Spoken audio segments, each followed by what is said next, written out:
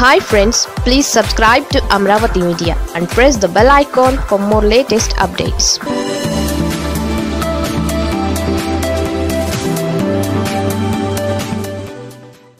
కొడాలిపై ఆ టీడీపీ నేతలు మౌనం ఎందుకో? మొత్తానికి కొడాలి నానిని తమ్ముళ్ళు వదలడం లేదు. చంద్రబాబుని ఇష్టం వచ్చినట్లు తిడుతున్నా కొడాలికి ఎలాగైనా చెక్ పెట్టాలని టార్గెట్ పెట్టుకుని మరీ తమ్ముళ్ళు రంగంలోకి దిగినట్లు కనిపిస్తోంది.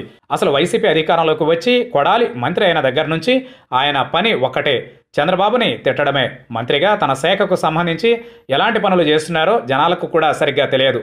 ఈయన కేవలం చంద్రబాబుని తిట్టే మంత్రిగా బాధ్యతలు చేస్తున్నారని అనుకుంటున్నారు. అవును వాస్తవానికి చూస్తే కొడాలి నాని ఏ శాఖ బాధ్యతలు చూసుకుంటున్నారో ఎవరికీ సరిగ్గా తెలియదనే చెప్పొచ్చు. కేవలం నాని ఉన్నది. చంద్రబాబును తిట్టడానికే అనేది మాత్రం తెలుస్తోంది. ఇలా చంద్రబాబును ఎడాపెడా తిడుతున్న నానిపై తమ్ముళ్ళు మొదటి నుంచి గుర్రుగానే ఉంటున్నారు.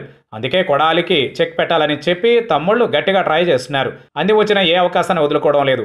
ఇక తాజాగా గుడివాడలో గోవా తరహాలో క్యాష్నో నడిపారని కథనాలు వచ్చాయి. వాటికి సంబంధించిన ఫోటోలు వీడియోలు కూడా వచ్చాయి. అయితే పండుగ మూడు రోజులు ఈ వ్యవహారం జరిగిందని అందరికీ తెలుసు. కాకపోతే కొడాలి ఆరోగ్యం బాగోక హైదరాబాద్లో ఉన్నారు. దీంతో క్యాచినోతో తనకేమీ సంబంధం లేదని నాని అంటున్నారు. అలాగే తనపై విమర్శలు చేస్తున్న టీడీపీ నేతలను దారుణంగా తిట్టారు. ఎప్పటిలాగానే చంద్రబాబుని తిట్టారు. ఇక చంద్రబాబు ఇంటిలో వ్యభిచారం నడుపుతున్నారంటూ మాట్లాడారు. ఇలా బూతులు హద్దులు దాటేశాయి. దీనికి టీడీపీ నుంచి కూడా గట్టిగానే కౌంటర్లు వచ్చాయి. దమ్ముంటే కొడాలి చంద్రబాబు ఇంటి గేటు తాకాలని తాకితే శవమైపోతారని బుద్ధ వెంకన నోరు జారారు. ఆ వెంటనే బుద్ధాని పోలీసులు అరెస్ట్ చేశారు.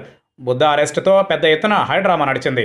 అయితే ఇక్కడ బుద్ధ వెంకన్న బోండా ఉమా లాంటి వారు కొడాలిని టార్గెట్ చేశారు కానీ కృష్ణా జిల్లా కమ్మ నేతలైన కేసినేని నాని గద్దె రామ్మోహన్ బోడే ప్రసాద్ లాంటి వారు మాత్రం కొడాలిపై ఒక్క విమర్శ చేయలేదు. మరి ఇందులో ఏం మతలబు ఉందో చంద్రబాబుకే తెలియాలి.